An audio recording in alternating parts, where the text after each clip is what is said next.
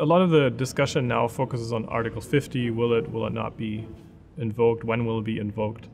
Um, and on how the UK would retain access to the single market.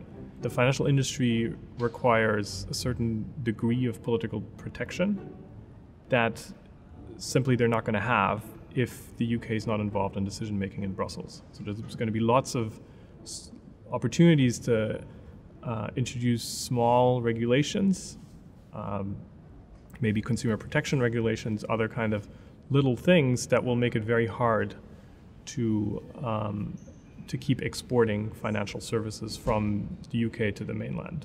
I think the uncertainty is costly, but on the other hand, the longer we manage to wait now, the less likely it is, I think, that Article 50 is actually invoked.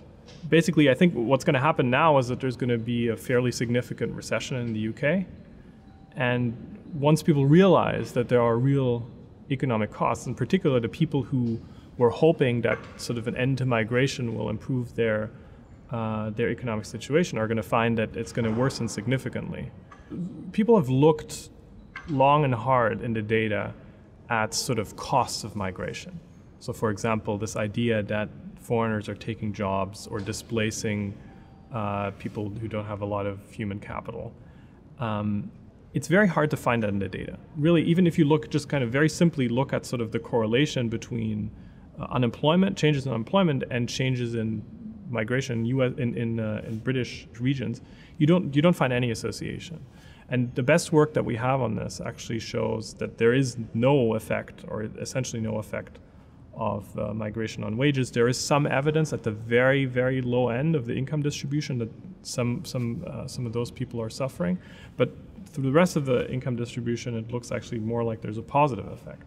Basically, what my research suggests is that uh, you take in a bunch of poor migrants now, and 30 years down the road, uh, those migrants are going to facilitate investment uh, uh, in the UK or in their host country.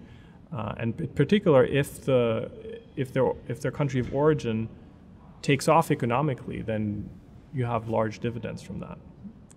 My sense is that people are kind of hoping that it's going to be fudged somehow, and Brexit in some form is not, is not going to happen.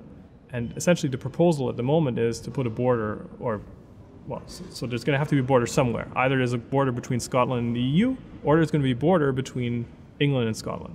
Scotland interacts an enormous amount both with the rest of Europe and with the UK. Putting a border somewhere is very costly. We have lots of research in economics that basically talks about the border effect. So if you look at sort of like the, the amount of economic interaction between Seattle and San Francisco, it's orders of magnitude larger than the economic interactions between Seattle and Vancouver, for example. And all of that lack of economic interaction between Seattle and Vancouver means fewer jobs, means fewer opportunities for people to do business, and fewer opportunities to create wealth for, for the economy. I think that a breakup of the UK would be very costly for the various parts of the UK, um, both because of like a, a long period of economic uncertainty and political uncertainty, and because you're going to have to put that border somewhere. London is sort of a natural hub for young people in the EU that are you know educated and trying to like you know start new businesses and have a lot of energy to do stuff to meet. In the long term, the EU is going to lack a center. Maybe Dublin's going to substitute to some to some extent. It's going to lack a social center. It has a political center, but the question is where is the social center? Uh, similar to like the role that you know New York and LA maybe play for for the U.S. But overall, I think the effects on the EU are going to be limited, uh, just because it's much bigger than the UK.